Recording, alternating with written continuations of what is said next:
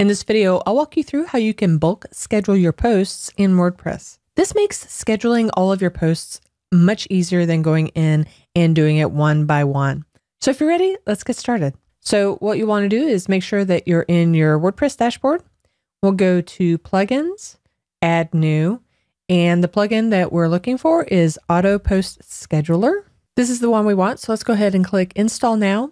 Make sure you also stick around to activate it as well.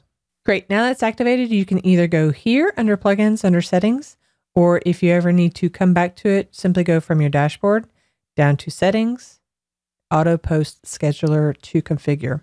You see right now it's currently disabled, so we'll want to enable it, but there are also some settings that we'll need to adjust. First, we need to decide how often we want to schedule posts. By default, it's set for 24 hours. So every 24 hours, a new post will be scheduled.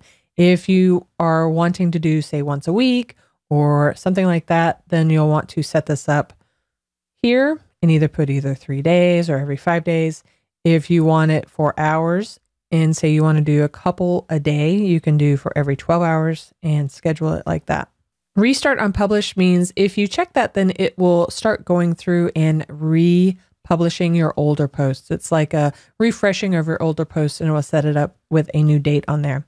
The start scheduling delay, if you hit enable right now, it would immediately go out and start posting right now. So if you wanted to delay this by a couple of hours and say you don't want the first one to go out until two hours from now to get this started, you could do that. And then down here, these are the items that you want to limit for this to happen on.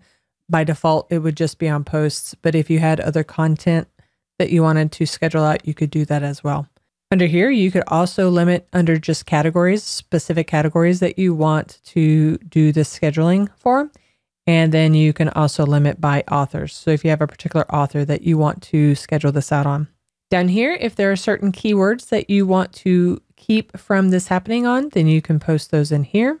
And then if you have a particular schedule that you want to keep, then you can add the time ranges in here. For instance, if you only want to post on Mondays, then you could put in a time range for that.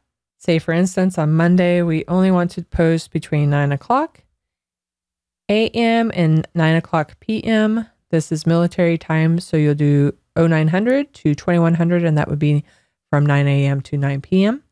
And then you could do that for multiple ranges. And this is great if you only want to post things on your blog, say Monday through Friday. You would fill this up all throughout and leave Saturday and Sunday out. Scrolling down on the do not schedule on dates, that's perfect for if there's a holiday or a specific day that you don't want anything scheduled. Simply put that date in here in this format and it will do that for you. And it will not schedule anything out on that particular day.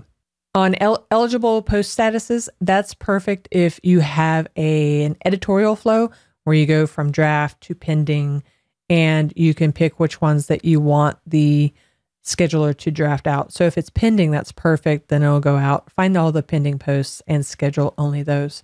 That way you can keep drafts in where you're still doing your editorial formatting or having an editor check up on those. So that's a perfect example of specifying which posts are ready to go. And then there are a few more settings that you could choose, but that's pretty good for us. So let's go ahead and click Update Options. And then we'll also want to enable auto post scheduler. And then all you would have to do is go into your posts and pick the ones that are ready, say our drafts, go in and find those that are ready to go and simply edit them and put them as pending. And then these will be the ones that will be scheduled out next. And that's a real quick and easy way to bulk schedule posts in WordPress. And thanks for watching.